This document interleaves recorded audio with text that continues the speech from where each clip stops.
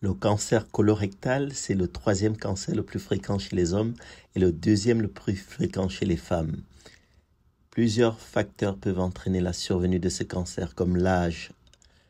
Classiquement, on parlait de 50 ans, mais actuellement, on est autour de 45 ans et peut-être même bientôt 40 ans. L'alimentation, un régime très riche en viande rouge, en graisse, faible en fibres. La sédentarité, le manque d'activité physique. Certaines maladies comme la maladie de Crohn, la colite ulcéreuse, les polypes, euh, les polyposes et les antécédents familiaux de cancer du côlon sont associés à un risque important de cancer colorectal. Comment la maladie se présente? Douleur au ventre, de modification de la forme, la consistance des selles, la présence de sang dans les selles. Parfois, aucun symptôme n'est présent. C'est un point très important à retenir. Certains patients, lors du diagnostic, peuvent avoir des métastases au niveau du foie ou au niveau du poumon. Le diagnostic se fait par des tests endoscopiques. La coloscopie est l'examen pour le diagnostic du cancer colorectal.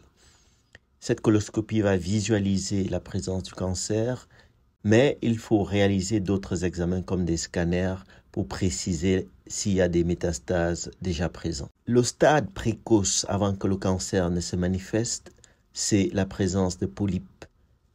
Les polypes sont les étapes préliminaires avant l'apparition d'un cancer et c'est pour cette raison que on fait des tests de dépistage pour rechercher la présence de sang microscopique dans les selles qu'on ne verrait pas à l'œil humain.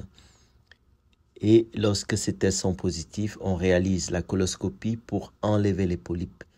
À ce stade, certains polypes ne sont pas au niveau cancéreux, mais des contrôles de coloscopie peuvent être réalisés dont la fréquence varie selon votre situation. Plusieurs traitements sont actuellement disponibles pour les personnes atteintes de cancer colorectal. La chirurgie, la radiothérapie, la chimiothérapie et tout récemment ce qu'on appelle l'immunothérapie ciblée.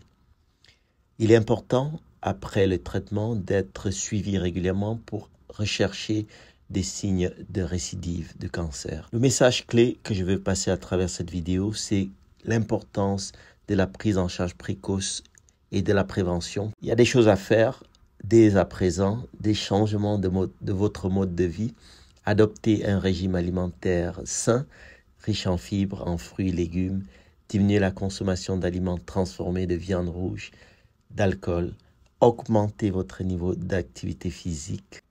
Merci de partager cette vidéo, ça pourra sauver des vies.